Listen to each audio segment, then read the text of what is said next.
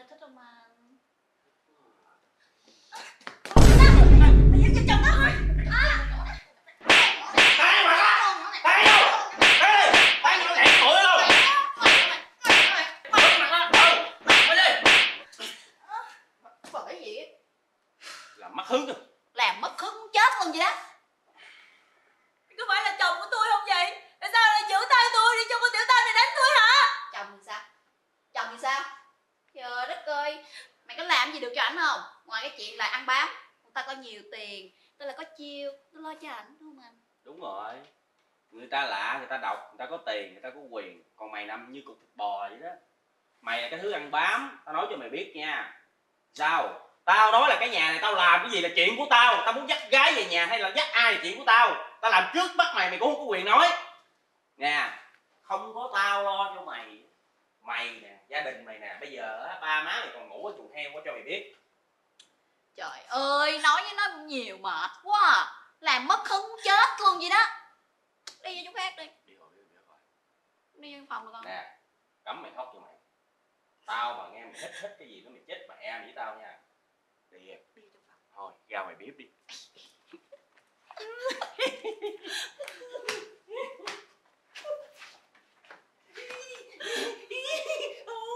anh ơi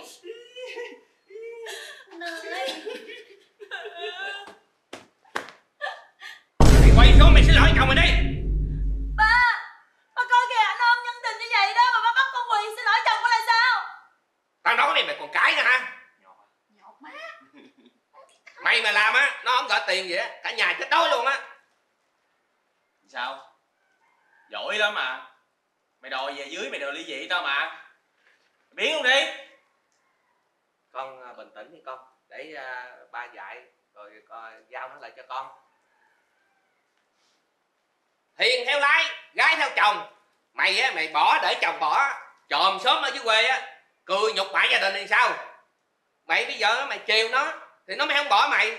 Mày ngồi đây mày khóc lóc hoài thì nó bỏ mày là đúng rồi.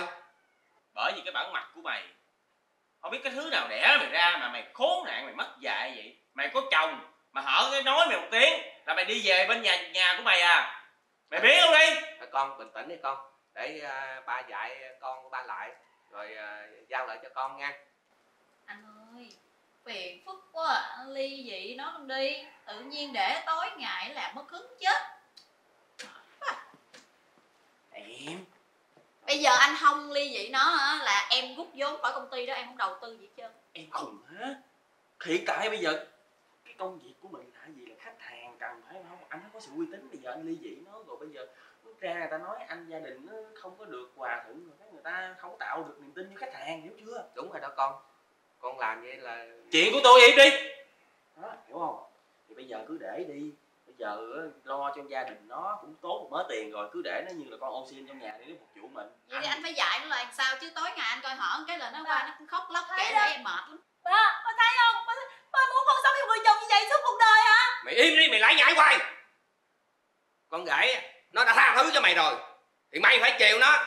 Mày cứ làm vậy hoài thì nó xua đuổi mày là đúng rồi.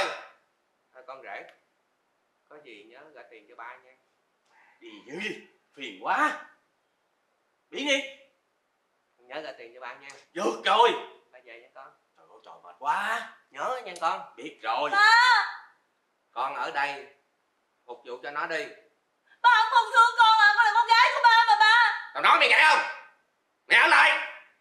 Tao đi về. Ba mày đừng có cãi ra.